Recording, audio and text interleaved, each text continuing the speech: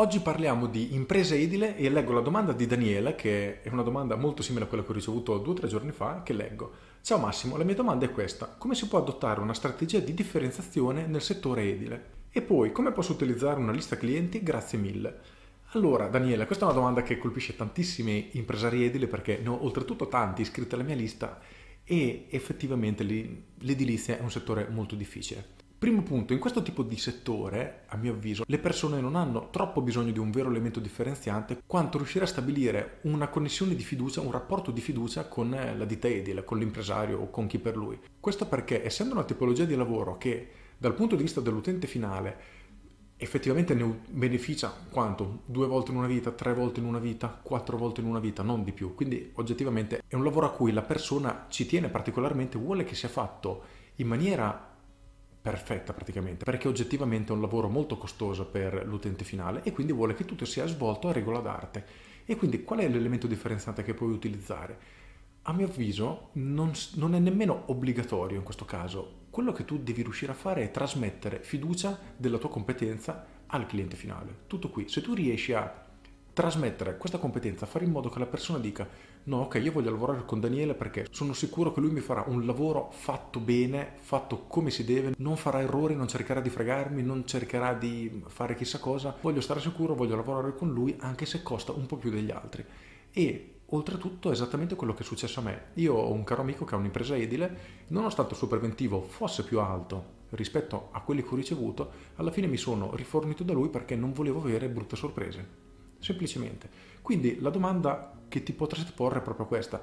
Come puoi fare per riuscire a creare questa relazione con il cliente e fargli trasmettere la tua competenza? Quindi questa persona deve pensare esattamente come è successo a me. Quindi quello su cui dovresti concentrarti è proprio questo. Chiediti come posso fare per riuscire a far pensare al mio cliente finale che noi siamo dei professionisti del settore, siamo bravi nel nostro lavoro, sappiamo quello che facciamo, non nascondiamo colpi bassi, non facciamo scherzi, insomma non lavoriamo male e che questa persona voglia lavorare esclusivamente con te. Non è facile, però questo grazie al marketing oggettivamente è fattibile. Io mi concentrerei principalmente sulla creazione di materiale cartaceo da consegnare fisicamente al cliente, in modo che la persona inizi a leggere tutto quello che voi fate, ad esempio l'analisi, come lavorate in un certo modo, come gestite, non so, l'organizzazione dei collaboratori esterni, magari avete l'idraulico esterno, avete quello che vi fa le ringhiere esterno, il falegname esterno e così via. Quindi questo potrebbe essere un elemento, potete ad esempio descrivere come gestite la costruzione del grezzo, indicando ad esempio gli errori che vengono comunemente commessi. Questo è un ottimo modo, quello di spiegare gli errori che vengono commessi in quel campo e praticamente mettere in mostra, dimostrare che noi, siamo, che noi abbiamo una soluzione, che lavoriamo in maniera diversa. Questo è un modo per davvero trasmettere competenza. Nel momento che la persona inizia a leggere questo materiale di marketing e dice, caspita, sai che questi però effettivamente sono bravi, quasi quasi quasi quasi chiedo il preventivo anche a loro. Questo è il primo step. Quando poi gli arriveranno i preventivi, perché comunque non riceverà solo il vostro, comunque ne riceverà diversi, a questo punto è molto probabile che la scelta del cliente vorrebbe ricadere sul vostro anche se non è il preventivo più basso. Magari cosa fa? Vi fa una controproposta, vi chiede, guarda la ditta A ci ha chiesto 100.000, la ditta B 105, voi 130, riesci a farmi un po' meno perché avrei veramente piacere di lavorare con voi perché sono sicuro e credo che riuscireste a lavorare bene e mi fate sentire tranquillo, però il prezzo è un po' eccessivo. A quel punto poi i contratti gli puoi andare un po' incontro, cerchi di trovare una soluzione oppure cerchi di giustificare a maggior ragione perché il tuo prezzo è più alto, quindi martelli ancora di più sul fatto che tu lavori in un certo modo, non fai errori, non sbagli e così via. Dopo questa è una scelta, una strategia di business che potete fare come volete. Questo è il primo punto.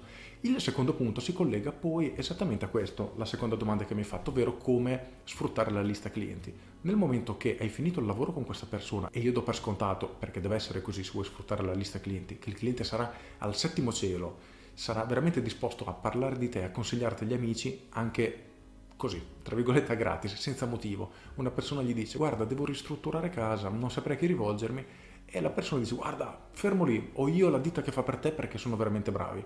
Quindi diciamo che questo dovrebbe già succedere in automatico.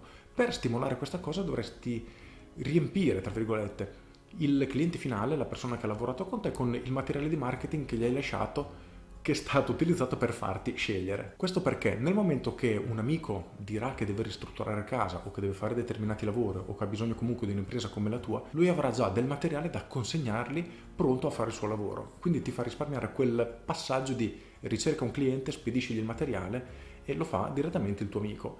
In più gli lascia la sua testimonianza che si è trovato a lavorare bene con te e il gioco praticamente è già fatto. Inoltre se tu ci pensi un attimo è praticamente quello che già succede. Per questo tipo di lavori funziona molto il passaparola. Ci si confronta con persone che hanno già ristrutturato casa o fatto un lavoro simile a quello che andrà a fare l'amico e gli chiede come si è trovato con questa impresa edile e se effettivamente gliela consiglio o no. Proprio perché, come dicevo all'inizio, è una cosa talmente delicata che le persone non vogliono sbagliare, quindi scelgono molto attentamente e il prezzo non è mai l'ultimo motivo di scelta. Per cui io mi muoverei così. Spero di averti dato qualche dritta, se hai bisogno di farmi altre domande fammele pure, io sono Massimo Martinini e ci sentiamo alla prossima risposta. Ciao!